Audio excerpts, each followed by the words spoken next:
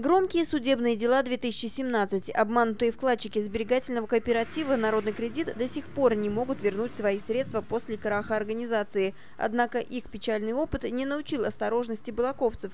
И в 2017 в Балаковском районном суде вновь множество дел этой направленности.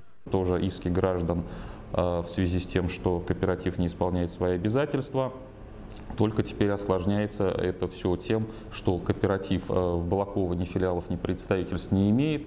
Пытались граждане подать иски в наш суд, но подсудность этого, этих исков э, самое ближайшее это Саратов, э, Волжский районный суд, потому что там есть филиал.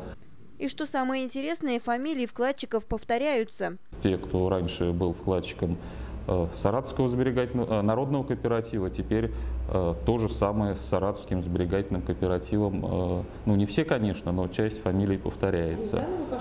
Они заново вложили деньги в другой кооператив, ну и, соответственно, получили точно такой же результат.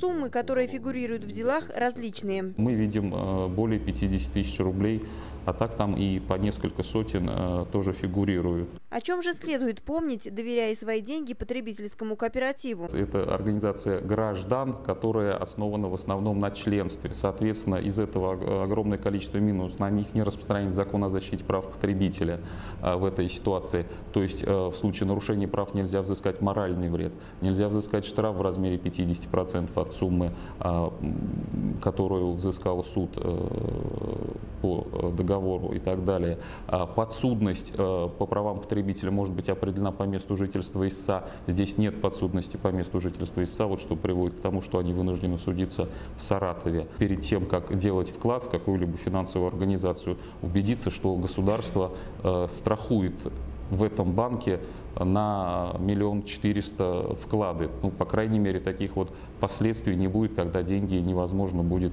получить назад. Да, может быть, там проценты пониже, но взвесив степень рисков и несколько процентов, которые ты получаешь, ну, наверное, надо сделать все-таки вывод какой-то в пользу безопасности.